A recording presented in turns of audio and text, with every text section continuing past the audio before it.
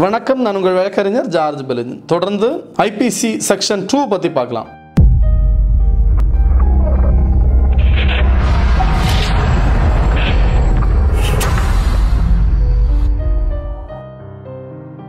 பிரிவு இரண்டு இந்திய தண்டனை சட்டம் பிரிவு இரண்டு. இதை பொறுத்த வரைக்கும் இந்திய திருநாட்டில் நடக்கக்கூடிய குற்றங்களுக்கு சிறப்பு சட்டங்கள் ஒவ்வொரு மாநிலத்திலையும் வகுத்திருப்பாங்க. அது வந்து பார்த்தீங்கன்னா woman harassment act Tamil Nadu marriage act அதே மாதிரி ஒரு Hindu marriage act Indian succession ஆக்ட்லாம் இந்திய அளவில் இருக்கக்கூடிய சட்டங்கள் தான். நம்ம இந்திய அளவில் ஒரு குற்றங்களுக்கான சிறப்பு சட்டங்கள் நிறைய இருக்கும். அந்த சிறப்பு சட்டங்கள் தவிர மற்ற எல்லா குற்றங்களையும் இந்திய தண்டனை சட்டப்படி தான் வகைப்படுத்தணும். அதுபடி தான் தண்டனை வகைகள் வழங்கணும் அப்படிங்கிறத மென்ஷன் பண்ணதான் பிரிவு இரண்டு. பிரிவு இரண்டில் இந்த விஷயத்தை தெளிவாக சொல்லியிருக்காங்க. நீங்கள் வந்து ஏதாவது சந்தேகங்கள் இருந்தால் நீங்கள் கேட்கலாம்.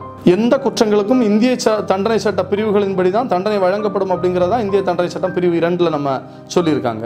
தொடர்ந்து வீடியோ பாருங்கள் சேனலை சப்ஸ்கிரைப் பண்ணுங்கள் உங்கள் ஃப்ரெண்ட்ஸுக்கு எல்லாமே இந்த வீடியோ ஷேர் பண்ணுங்கள் நன்றி வணக்கம்.